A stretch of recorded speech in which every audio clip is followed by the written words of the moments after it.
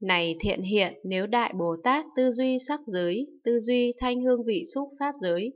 thì nhiễm trước dục giới, sắc vô sắc giới. Nếu nhiễm trước dục giới, sắc vô sắc giới, thì chẳng có đủ khả năng tu các hạnh Đại Bồ Tát chứng đắc quả vị giác ngộ cao tổn Nếu Đại Bồ Tát chẳng tư duy sắc giới, chẳng tư duy thanh hương vị xúc pháp giới, thì chẳng nhiễm trước dục giới, sắc vô sắc giới. Nếu chẳng nhiễm trước dục giới, sắc vô sắc giới, thì có đủ khả năng tu các hạnh Đại Bồ Tát chứng đắc quả vị giác ngộ cao tột. Vì vậy, này thiện hiện, nếu Đại Bồ Tát muốn tu hạnh Đại Bồ Tát, muốn chứng quả vị giác ngộ cao tột thì phải siêng năng tu học bát nhã ba la mật đa sâu xa, chẳng nên tư duy nhiễm trước các pháp. Này thiện hiện, nếu Đại Bồ Tát tư duy nhãn thức giới, tư duy nhĩ tĩ thiệt thân ý thức giới, thì nhiễm trước dục giới, sắc vô sắc giới. Nếu nhiễm trước dục giới, sắc vô sắc giới, thì chẳng có đủ khả năng tu các hạnh Đại Bồ Tát chứng đắc quả vị giác ngộ cao tột. Nếu Đại Bồ Tát chẳng tư duy nhãn thức giới, chẳng tư duy nhĩ tĩ thiệt thân ý thức giới,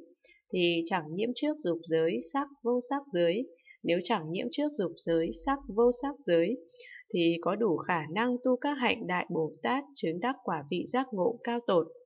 Vì vậy, này thiện hiện, nếu Đại Bồ Tát muốn tu hạnh Đại Bồ Tát, muốn chứng quả vị giác ngộ cao tột,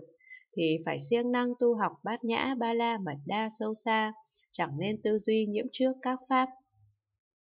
Này thiện hiện, nếu Đại Bồ Tát tư duy nhãn xúc, tư duy nhĩ tĩ thể thân ý xúc thì nhiễm trước dục giới, sắc vô sắc giới. Nếu nhiễm trước dục giới, sắc vô sắc giới, thì chẳng có đủ khả năng tu các hạnh Đại Bồ Tát chứng đắc quả vị giác ngộ cao tổn. Nếu Đại Bồ Tát chẳng tư duy nhãn xúc, chẳng tư duy nhĩ tĩ thiệt thân ý xúc, thì chẳng nhiễm trước dục giới sắc vô sắc giới. Nếu chẳng nhiễm trước dục giới sắc vô sắc giới, thì có đủ khả năng tu các hạnh Đại Bồ Tát chứng đắc quả vị giác ngộ cao tổn.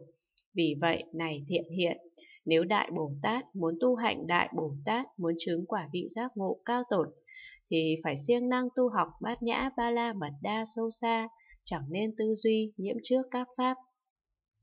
Này thiện hiện, nếu Đại Bồ Tát tư duy các thọ do nhãn xúc làm duyên sanh ra, tư duy các thọ do nhĩ tĩ thiệt thân ý xúc làm duyên sanh ra, thì nhiễm trước dục giới sắc vô sắc giới. Nếu nhiễm trước dục giới sắc vô sắc giới, thì chẳng có đủ khả năng tu các hạnh Đại Bồ Tát chứng đắc quả vị giác ngộ cao tột. Nếu Đại Bồ Tát chẳng tư duy các thọ do nhãn xúc làm duyên sanh ra, chẳng tư duy các thọ do nhĩ tĩ thiệt thân ý xúc làm duyên sanh ra,